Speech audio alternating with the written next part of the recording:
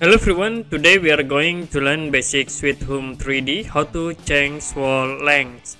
As example of we create walls, you can click at the second walls and we draw in here.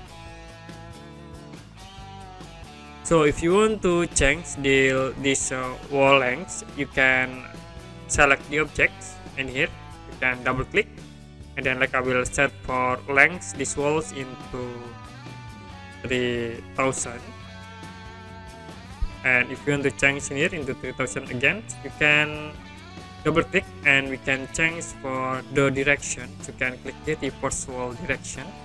And then you can double click. Now we can change into 3000 and you can click ok. Next in it in vertical walls i will set again into 3000 and then in it you can click can see the walls. Reverse you can right click choose uh, reverse wall direction. And then I will uh, double click again and change for wall distance into 3000 now to connect between these two objects you can select. Then you can click hold it Okay, that's it for basic Sweet Home 3D, how to change wall length. And if you have any question about this tutorial, you can comment below this video.